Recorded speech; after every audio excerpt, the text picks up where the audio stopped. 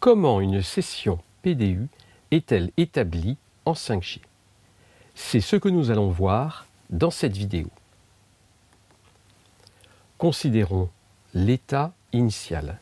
Nous avons bien sûr le terminal, l'UE, qui se trouve dans le réseau et nous supposons qu'il est connu du réseau.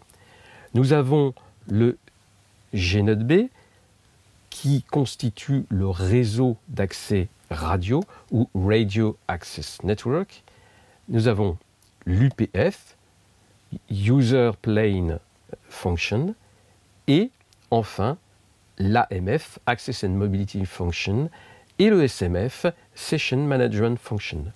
Pour simplifier les explications, nous supposons que les deux fonctions sont fusionnées et nous ne nous intéressons pas aux échanges entre AMF et SMF. Ça, c'est l'état initial. À quoi voulons-nous arriver?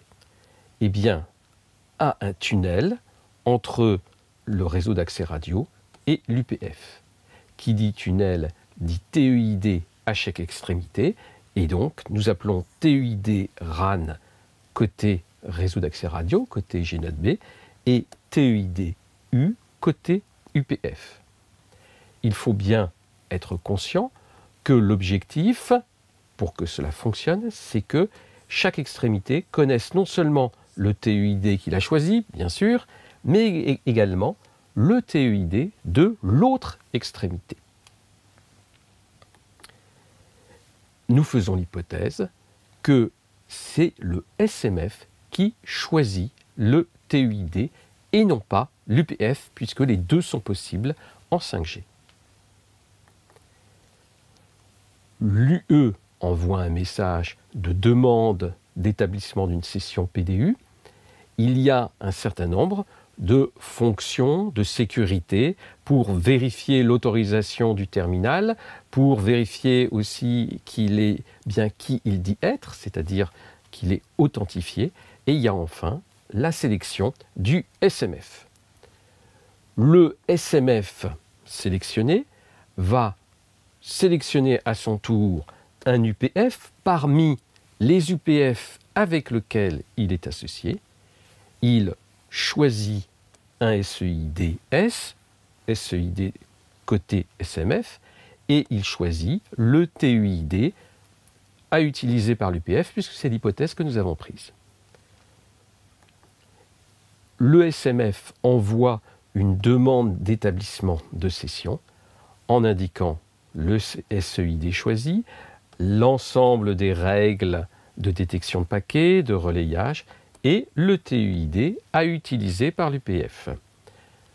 L'UPF, pour identifier la, session, choisit un SEID, appelé SEIDU, va mettre, appliquer les euh, politiques, les règles euh, indiquées, et répond avec un message Session Establishment Response, dans lequel il indique le SEID côté SMF pour faire référence à la demande et il indique le SEID que lui a choisi. Le SMF envoie un message Session Resource Setup Request au GNB via l'AMF. Ce message contient le TEID choisi par le SMF côté UPF. Il y a ensuite modification de la connexion radio de façon à ce que sur la voie radio, le flux de données puisse être transmis. Et, dès que c'est le cas, on peut constater que le flux montant peut circuler à travers le réseau 5G puisque le G-Note a bien connaissance du TUID utilisé par l'UPF. Il faut maintenant que le G-Note choisisse le TUID RAN et il faut le transmettre à l'UPF.